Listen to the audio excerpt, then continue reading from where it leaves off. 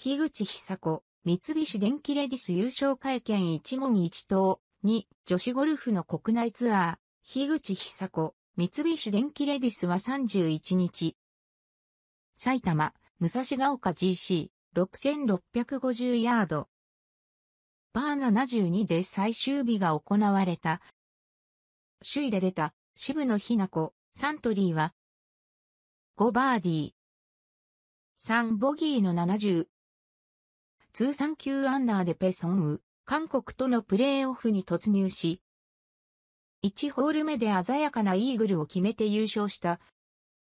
3週前のスタンレーレディスに続き、今季2勝目。国内ツアー6勝目。前週は決勝ラウンドに進めなかったが、2019年11月の大王製紙エリエールレディスに続き、自身2度目の予選落ち後の翌週 V となった。以下、一問一答2、今大会、調子はどうだったか。悪くはないですけど、右へのミスが多かったです。今日は緊張感で思ったより体が動かず、パッティングでも外して、メンタル的にも厳しかったです。17番を終え、チュイペソンウーと2打差になった。2打差ついた時点でもう、イーグルしかないので、ここでギアを外しました。あれギアを入れたか。外して、どうすんだかっこ笑い。同じメジャー王者である、樋口久子さんの冠がついた大会。優勝した思いは、まず、この難しいコースで、大会プロデューサーとばり、トシさんの難しいセッティングで勝てたことが嬉しいです。これは、米女子ツアー最終予選会にもつながると思います。樋口さんからもおめでとうと声をかけていただき、とても嬉しかったです。12月に米女子ツアー最終予選会が行われる。国内ツアーの最終戦。ジェルピーがツアー選手権、リコーカップ、11月25日に出場するか迷っていたが、出ない方向で考えています。体力が持ちませんかっこ笑い。すみません。三菱電機レディス、渋野日向子の目標は、面白いゴルフファンミリオの大逆転勝ちに、手応え女子ゴルフの国内ツアー、樋口久子三菱電機レディス最終日、31日。埼玉、武蔵ヶ丘 GC イコールパー72渋野日向子、22イコールサントリーが68で回り。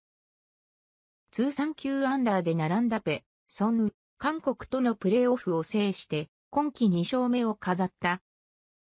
最終18番で2打差を追いつき、プレーオフ1ホール目でイーグルを奪っての大逆転勝利。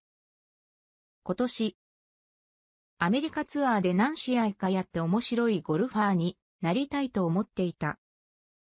見ている側からするとハラハラ。ドキドキするようなゴルフだったと思うので、そうやって面白い勝ち方ができて、すごく良かったと自画自賛した。渋谷が面白いゴルフを目指すようになったのは、今年6月の全米女子プロ選手権アトランタだったという。その試合で2日目にバーディー。イーグルで予選を通過したんですけど、日本人の方が見ていて面白いゴルフをしてくれて、ありがとうと言ってくださって、そこから面白いという言葉に敏感になったというか、見に来てくださっている方には、本当に楽しんでもらいたい。だから、見ていて面白いゴルファーになりたいなと思った。それがきっかけですと説明した。ペソンウーツーコン、3週前と同じく、渋野日向子にプレーオフで敗れるペソンウ、韓国はまたも、プレーオフの末に敗れ、19年11月のツアー、選手権履行杯以来、約2年ぶりの優勝を逃した。渋谷と首位で並んで最終日最終組で回り、4バーディー。4ボギーの70。一時は2打差をつけたが、渋谷がバーディーとした最終18番で約1メートルのウィニングパットを外した。痛恨のボギーで追いつかれ、そのまま押し切られた。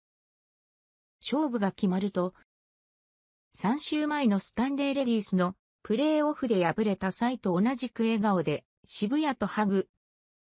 競技後は渋谷選手のプレーオフのセカンドショットがすごく良かったので、それを見た時は少しちょっとがっかりした気持ちもありました。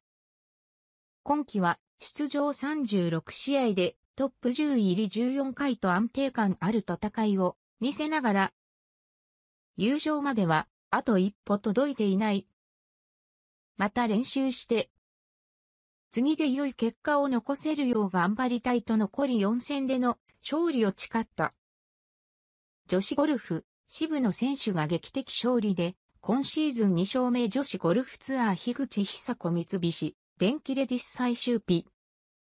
渋野日向子は、今シーズン2勝目を挙げました。最終日。トップタイの7アンダーでスタートした渋谷。前半は1アンダーで後半へ折り返します。そして、首位と2打差で最終18番へロングホール第2打ここで2音難なくバーディとして最終ホールついに2首位に追いつきます。プレーオフ1ホール目またもヤニオンで今度はイーグルパットを決めた渋谷。今季2勝目通算7勝目を劇的な勝利で飾りました。